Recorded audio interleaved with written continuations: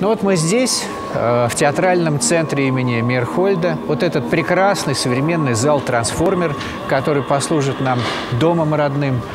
Э, вот это бифронтальная рассадка, когда с двух сторон будут зрители. А сейчас техническое совещание, присутствуют специалисты. Нам нужно многое что понять.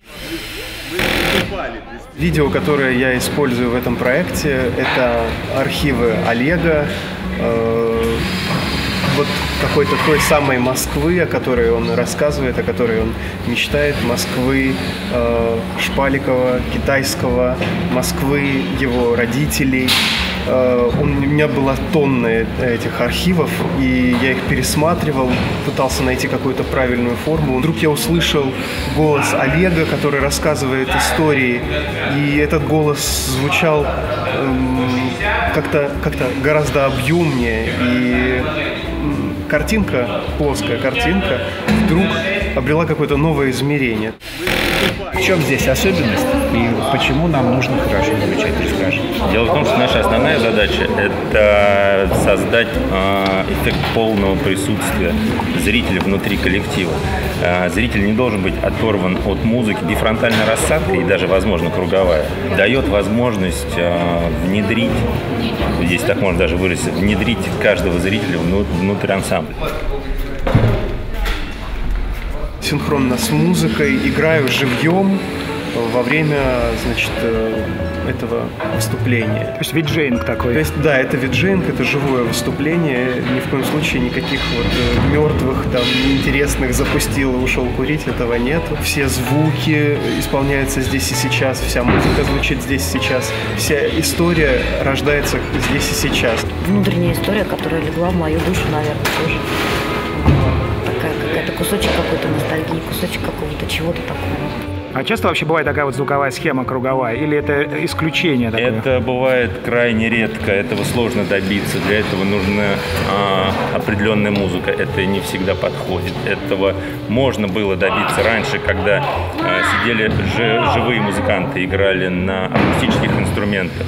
Сейчас это стало сложнее, так как для электрических инструментов вам еще нужно э, специальное оборудование, вам нужно правильно все расставить, правильно всех рассадить. Но этого можно добиться. Это бывает крайне редко, и я считаю, что здесь это получится. Груда мебели, оборудования, архива, телевизора, все.